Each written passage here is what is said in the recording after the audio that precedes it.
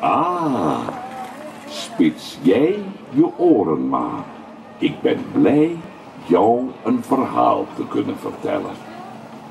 We leven hier in het Sprookjesbos meestal lang en gelukkig. Maar er was dus een dag dat het anders was. Wat zou jij wensen als je een wens mocht doen? Ik zou wensen dat ik een wereldberoemde specht was. Ik zou alle hazelnootjes van de wereld wensen. Wist het ook niet. Mocht ze een wens doen?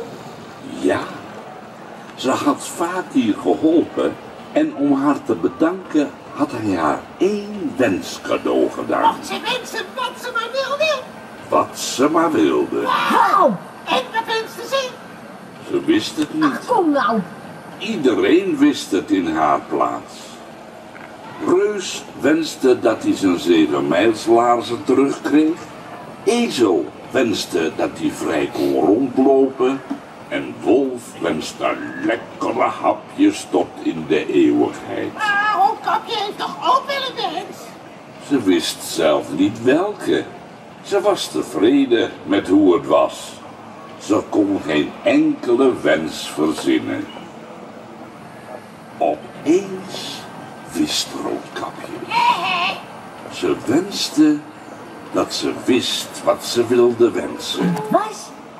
Ze wenste dat alle wensen van alle sprookjesbosbewoners uitkwamen. Maar die wens kwam niet uit. Omdat ze van Fakir maar één wens had gekregen. Ze had eerst gewenst dat ze wist wat ze wilde wensen. En die wens was ook uitgekomen. De wens dat alle wensen van iedereen uitkwamen, was haar tweede wens. Precies.